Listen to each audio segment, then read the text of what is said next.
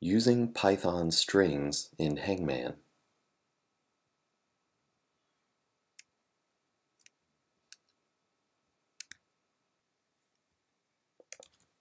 Here is a script that runs a game of Hangman.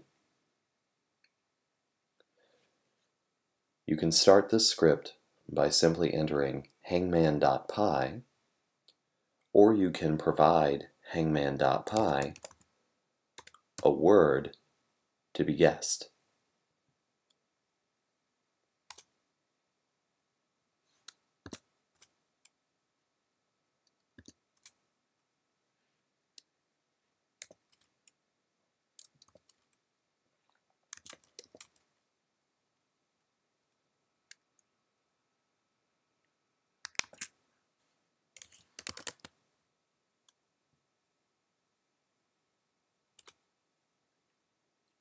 The operation is the same. The user simply doesn't know the word if no parameter is given to Hangman.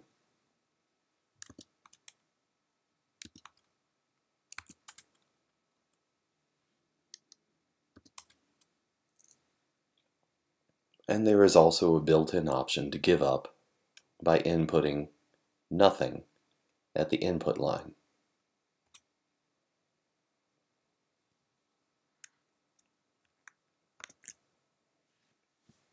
The latter of these two options, no parameter, is useful when the user wants to play.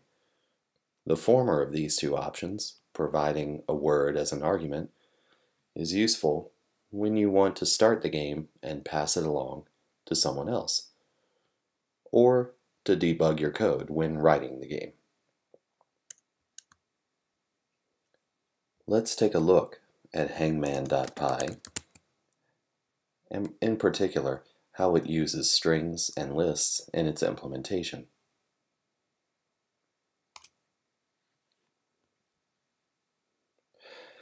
You'll see that it uses two functions.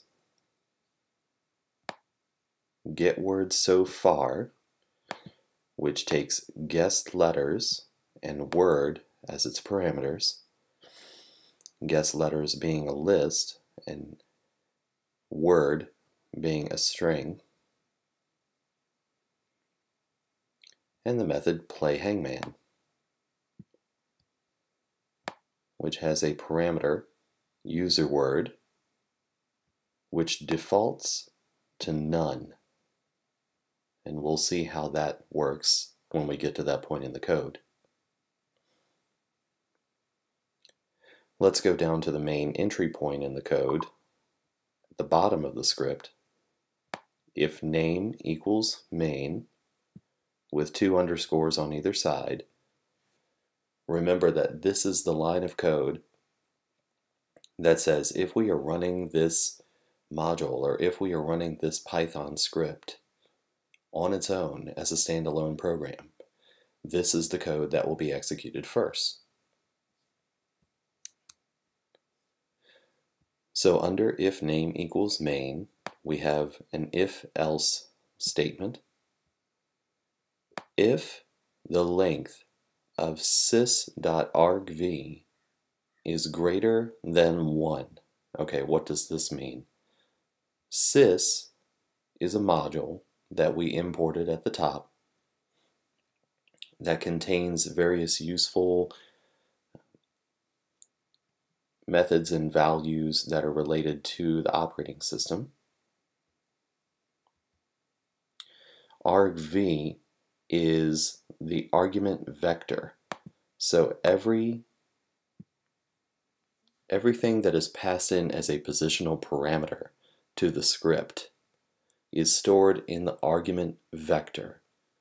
So it's a list of arguments. So what we're asking here is is the length of the argument vector greater than 1? In other words, is there more than one value stored in this list called argv? Why more than one? Well, the first value stored in argv at position 0 is the name of the script itself, and this is useful to access if you're printing a usage message. sysargv1 and every index beyond that stores a positional parameter. So we're asking here, if the length of the argument vector is greater than 1, that means we have a positional parameter stored at index 1. And so when we play hangman, we will pass that positional parameter to the hangman, play hangman um, function. Else, we'll simply call play hangman without any argument. Okay, so let's look at play hangman.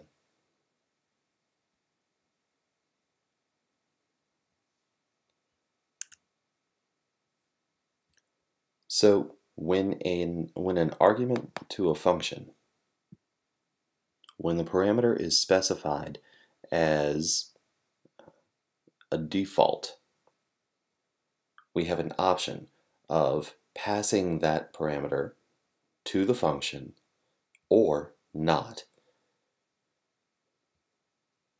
So user word, if we have passed a word to the function, will be equal to that word as we saw earlier, when I ran hangman.py hello, user word evaluates to hello.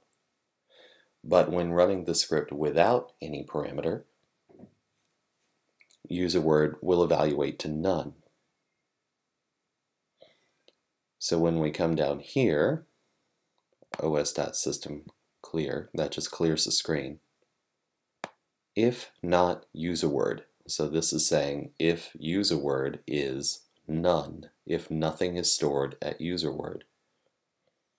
So if not user word, we're going to choose a random word from the Swadesh list, which is a good source for just single words. And all we're doing here, I won't go through it in great detail, but all we're doing here is making a random choice of lines in the Swadesh file, which is one word per line, and making sure that we have a long enough word and that there is not an unwanted character like a parenthesis in that word, and then breaking when we have a word that works.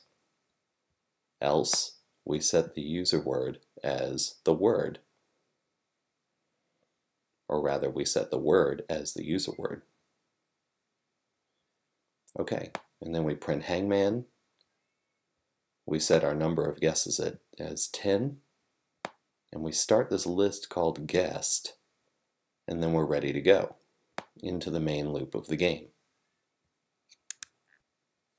Now notice everything that we want to do just one time has been done outside of the while loop.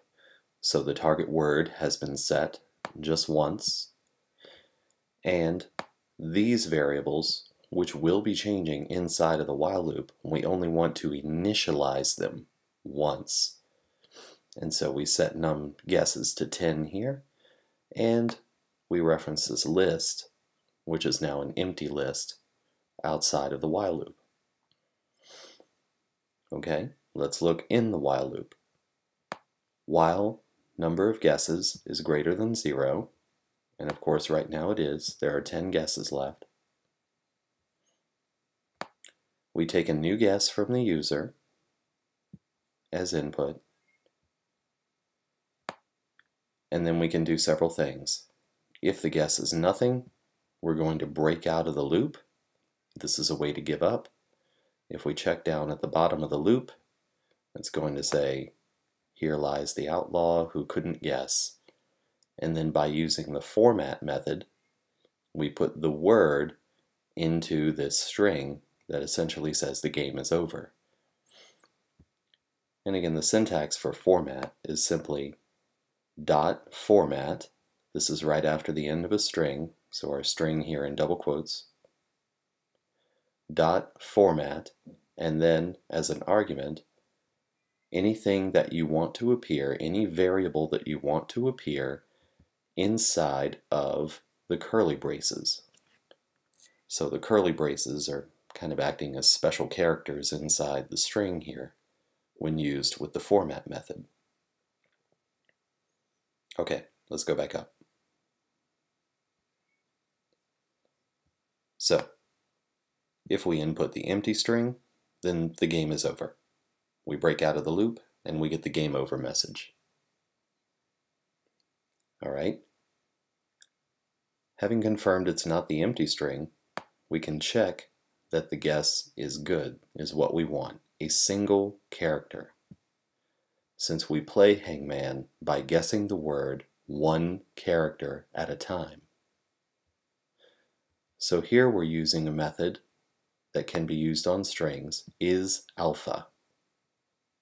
And you may recall this method says return true if the string, in this case the string stored at guess, if the string is all letters, that is, does not contain digits or punctuation, etc. Has to be A through Z. Okay, so that's one condition we want to meet, that the guess is a letter.